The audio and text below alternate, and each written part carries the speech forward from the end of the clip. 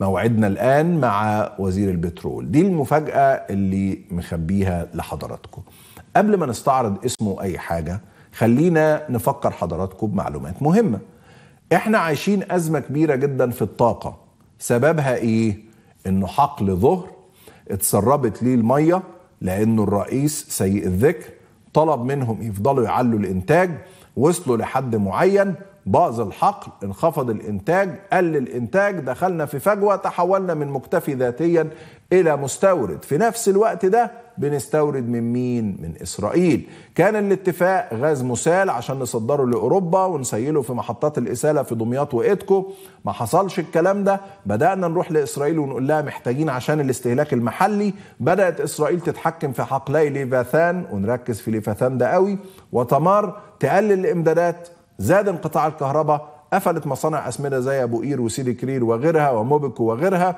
توقفت المصانع زادت أسعار الأسمدة زادت المحاصيل الزراعية زادت أسعار السلع الغذائية. يعني إسرائيل بتتحكم دلوقتي في موضوع الطاقة. يبقى إحنا عندنا في الطاقة مصر حقل ظهر إسرائيل ليفاثان وتمار المقدمة دي كانت مهمة قوي ليه؟ عشان نعرف مين هو كريم بدوي وزير البترول القادم قبل الوزارة كريم بدوي كان شغال مدير للطاقة في شركة شليم برجر العالمية. ونشاطات الشركة دي في مصر كانت بتقوم على إيه؟ كانت شغالة في حقل ظهر. التطوير والمشاركة في عمليات الاستكشاف والإنتاج في حقل ظهر أحد أكبر حقول الغاز في البحر المتوسط. لكن في نفس الوقت شركة شليمبرجر دي لديها أنشطة متعددة في إسرائيل. أحد المشاريع البارزة اللي شاركت فيها الشركة اللي شغال فيها كريم بدوي كان حقل الغاز الطبيعي فين في ليفاثان في البحر المتوسط. وكمان تم منح شركة شلمبرجر اللي شغال فيها كريم بدوي عقد لتوفير نظام قياس وتحكم لحقل ليفاثان اللي بيشمل توفير صمامات ونظام قياس متعدد ومعدات تحليل الغاز الطبيعي وهو يعد أحد أكبر حقول الغاز في إسرائيل وبيقع في البحر المتوسط كمان الشركة بتاعة شيلنبرجر اللي شغال فيها كريم بدوي اللي أصبح وزير البترول المصري اللي كان شغال كمان في حقل ظهر بتشتغل في مجالات أخرى تتعلق بالاستكشاف والإنتاج في إسرائيل وبتساهم في تطبيق التكنولوجيا المتقدمة لتحسين كفاءة العمليات وضمان سلامة البيئة يعني إيه الكلام ده؟ يعني إحنا عندنا مشكلة في الغاز في حقل ظهر اللي كان شغال فيه شركة اسمها شليمبرج اللي كان مديرها كريم بدوي. وعندنا مشكلة مع إسرائيل في حقل ليفاثان اللي شغال فيه شليمبرج اللي كان مديرها في مصر كريم بدوي. طب نعمل إيه؟ إحنا نجيب كريم بدوي نمسكه وزير بترول. خطة عبقرية. خطة رهيبة جدا. يعني والله صح ما الخيوط كلها ملمسة ببعضها. مش يمكن بعلاقاته بزمايله في شليمبرج في إسرائيل يكلمهم يزودوا لنا ما هو السيسي بيفكر كده خلي بالك. أنت ممكن تستغرب وتقول إيه ده الله يخرب بيوتكم إيه ده دي خيانة أنتوا بتعملوا لا لا ثانية واحدة ثانية واحدة خد نفس عميق. إحنا بنتكلم على سيء الذكر يا عزيزي. إحنا مش بنتكلم على رئيس وطني ولا بنتكلم على واحد وطني أصلا ولا بنتكلم على واحد همه لا موارد الدولة ولا الدولة ولا أنت ولا أنا ولا أي حد. همه الكرسي اللي هو قاعد عليه. طيب أنا عندي مشكلة مع إسرائيل دلوقتي بيلعبوني بكميات الغاز وعندي إحراج جوة والكهرباء بتقطع والسماد طب اعمل إيه يا جماعة مين عندنا كان شغال في إسرائيل؟ والله يا باشا إحنا عندنا شركة اسمها شلمبرج في واحد كويس فيها كان من الناس اللي شغالين في حقل ظهر. حلو ده. يعرف ناس هناك؟ آه طبعا. ده هم شغالين في نفس الوقت في ليفاثان وفي حقل ظهر. الله. طب ما حلو ده. طب ما نجيبه. هنجيبه نعمل بيه إيه يا فخامة الرئيس؟ والله يكلم أصحابه هناك. يكلموا لنا الجماعة في إسرائيل يرجعوا الإمدادات تاني.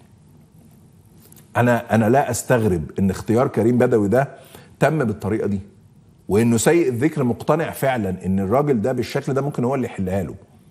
أو حاجة تانية تكون إسرائيل هي اللي جايبة. أنا مش من هواة نظرية المؤامرة وأنا بقول لحضرتك دي مش معلومة أنا بطرح معاك فرضيات. هو مش يمكن إسرائيل اللي جايباه ما هو الراجل شغال في ظهر اللي هو أصلا زيادة الإنتاج فيه أو إصلاحه أو تطويره ممكن يخلي مصر تستغني عن إسرائيل. مش كده؟ طيب لما يكون عندي واحد كان شغال في الشركة اللي هي في ظهر أصلا وهي نفس الشركة اللي شغالة عندي طب ما أنا من مصلحتي الراجل ده يكون وزير بترول.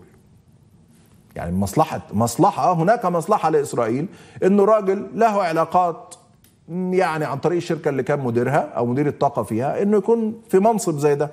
لما هتفق معاه في حاجة ليها علاقة بالغاز لما هنتفاهم لما هنضغط والله في أخذ وعطا في تاريخ ما بيننا في خاطر في فلوس في بزنس فشكرا لشليمبرج اللي يعني أنجبت لمصر كريم بدوي وزير البترول اللي عنده آه علاقات بإسرائيل.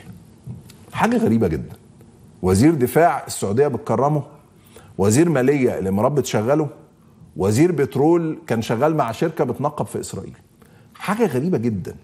إحنا بنتعامل مع مرحلة مش عارف أوصفها بإيه والله. يعني أنا فعلا والله بحكي وأنا مش عايز أقول لك مصدوم لا مش مصدوم. يعني هو سيء الذكر تتوقع منه أي حاجة. بس أمر غريب.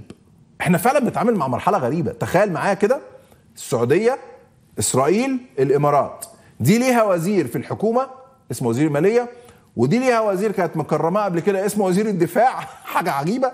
ودي ليها واحد وزير بترول كان شغال في شركة بتنقب عندهم على الغاز فدي مصر دي الحكومة الجديدة. لو حد قال لك احكي لي عن الحكومة الجديدة قول له ثلاث حاجات. أحمد كجوك عند هشام طلعت بتاعة الإمارات. عبد المجيد صقر السعودية مكرماه بقى وزير دفاع. آه كريم بدوي وزير البترول شغال في شركة بتنقب في إسرائيل. دي حكاية الحكومة الجديدة. أهو ده ينفع شورت والله الزملاء في ال social media. أهو ثلاث حاجات ملخص الحكومة الجديدة لسيء الذكر. عبد الفتاح سعيد خليل السيسي. أنها حكومة لدينا ثلاثة ممثلين لثلاث دول.